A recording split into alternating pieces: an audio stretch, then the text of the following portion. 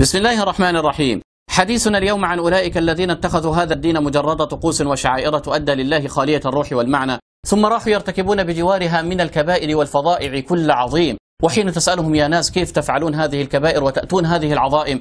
ثم تدخلون المسجد تصلون. يقولون لك هذه نقرة وهذه نقرة. وقد كذبوا والله فإنما هي نقرة واحدة. إن الله تعالى لا يضحك عليه أحد. لأجل هذا سأحدثكم اليوم عن أربعة من الذنوب والكبائر.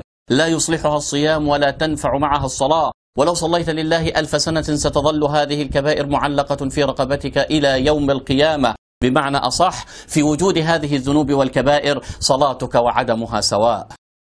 وأول هذه الذنوب هي كل مظلمة متعلقة بحق من حقوق العباد. بمعنى أبسط إنك تكون ظلمت حد. اعتديت على حد. أخذت حاجة مش بتاعتك. افتريت على حد. شوهت سمعة حد. هذه الذنوب يا جماعة الخير لا يغفرها الله أبدا إلا إذا رددت الحق لصاحبه أو تنازل صاحب الحق عن حقه أمام الله حبا وكرامة.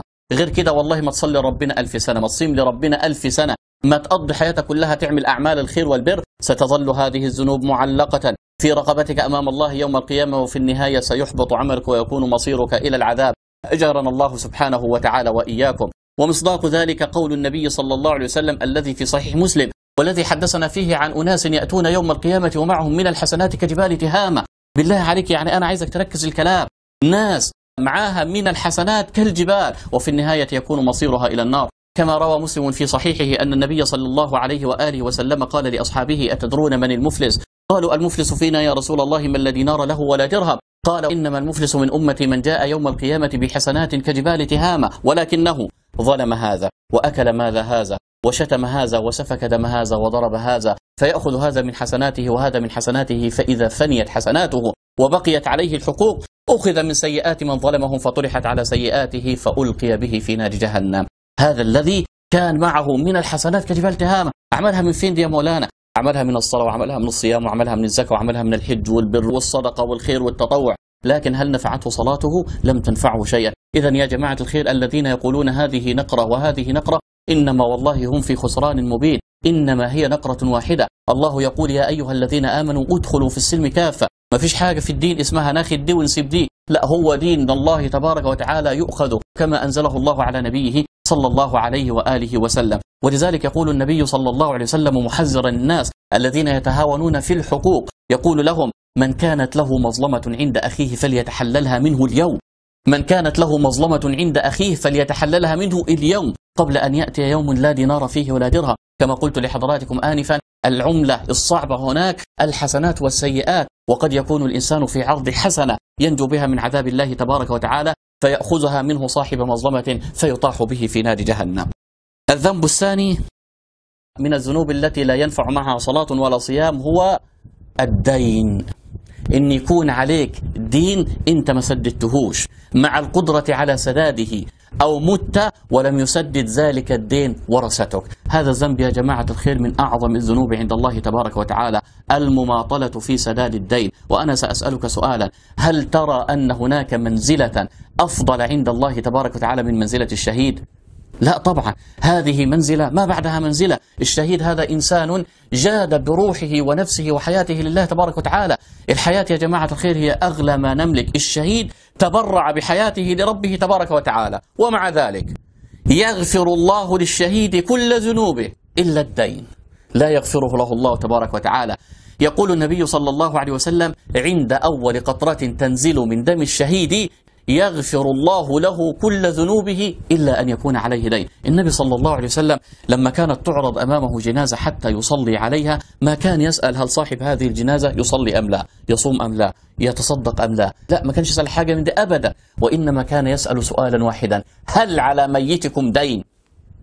هل على ميتكم دين؟ فإن قالوا ليس عليه دين يا رسول الله صلى عليه رسول الله صلى الله عليه وآله وسلم صلاة الجنازة. فإن قال الصحابة نعم يا رسول الله عليه دين يتأخر رسول الله ولا يصلي عليه ويقول صلوا على ميتكم فإني لا أصلي على من عليه دين. لدرجة أن سيدنا عبد الله بن عمرو بن العاص حكى لنا قصة ذات يوم أن رسول الله صلى الله عليه وسلم قدمت له جنازة لكي يصلي عليها فسأل هل على هذا الميت دين؟ قالوا نعم يا رسول الله فتأخر رسول الله ولم يصلي عليه. ولكن هذا الرجل كان قريب عبد الله بن عمرو بن العاص فأراد عبد الله بن عمرو بن العاص أن يأخذ بركة صلاة رسول الله صلى الله عليه وآله وسلم فقال يا رسول الله أنا كفير بدينه يعني أنا سأسدده له. فقال النبي هل أنت ضامن له؟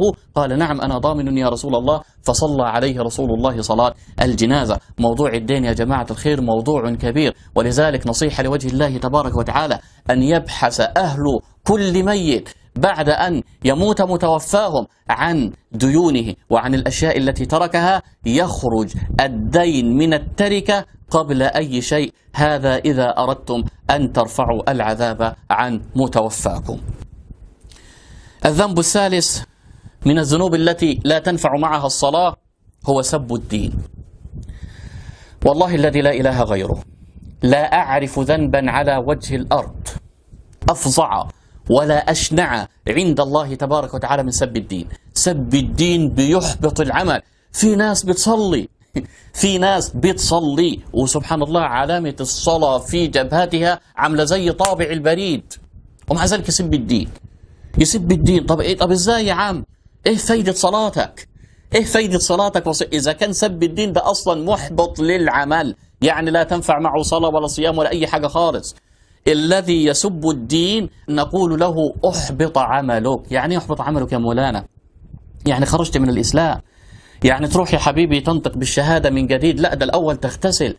تغتسل غسل الإسلام وكأنك خرجت من الكفر ودخلت الإسلام من جديد. تغتسل غسل الإسلام وتنطق بالشهادتين من جديد. وكل اللي فات ده خلاص ربنا يعوض عليك فيه. هنعد لك من دلوقتي أهو. يعني والعياذ بالله لو واحد سب دين الله من دقيقة نقول له روح اغتسل وتعالى وانطق بالشهادتين ونحسب له كده من أول الدقيقة أهو التي دخل فيها الإسلام.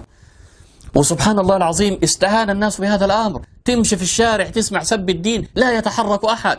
العيال الصغيرة بقت تسب الدين في الشارع. وما حدش بيكلمها. تركب المشروع تروح أي مكان تسمع سب الدين. دين الله صار لا بواكي له. اتنين بيتخانقوا مع بعض يسبوا لبعض الدين. طب إيه دخل الدين في القصة؟ مع أن هذا الذي يتشاجر لو سب له أباه لدخل معه في معركة قد يفقد فيها حياته. ولكن للأسف كما قلت لكم دين الله لا بواكي له وحسبنا الله ونعم الوكيل. سب الدين من الذنوب التي لا ينفع معها لا صلاة ولا صيام ولا صدقة ولا أي شيء أصلا. الذنب الرابع والأخير التولي يوم الزحف. أجارنا الله وإياكم. العدو داهمنا داخل علينا. المفروض ما نعطوهوش ظهورنا أبدا. لابد أن نقاتل. وهي إحدى الحسنيين إما النصر وإما الشهادة. إنما ترجع وتعطيه ظهرك وتمشي لا. هذه كبيرة لا يغفرها الله أبدا. ولا ينفع معها صلاة ولا صيام ولا صدقة. إلا إن كان الرجوع خطة رتبها القادة. دي حاجة تاني. ده حكم فقهي تاني. ها؟ هنرجع عشان مثلا عاملين لهم فخ أو هنوقعهم في حكاية ها؟ أو كان زحفنا أمام الأعداء ضمن خطة رتبت مسبقا دي ما فيهاش حاجة. لا غبار عليها. إنما الذي يعطي العدو ظهره جبنا وخوفا لا هذا ذنب عظيم وهذا ذنب كبير. لا يغفره الله تبارك وتعالى. قال الله تعالى ومن يولهم يومئذ دبره إلا متحرفا لقتال أو متحيزا إلى فئة فقد باء بغضب من الله ومأواه جهنم وبئس المصير. إلى هنا تكون انتهت حلقتنا لهذا اليوم. أسأل الله تبارك وتعالى أن ينفعنا وإياكم بما علمنا وأن يجعل ذلك في ميزان حسناتنا وحسناتكم يوم أن نلقاه. أقول قولي هذا وأستغفر الله لي ولكم. سلام الله عليكم ورحمته وبركاته.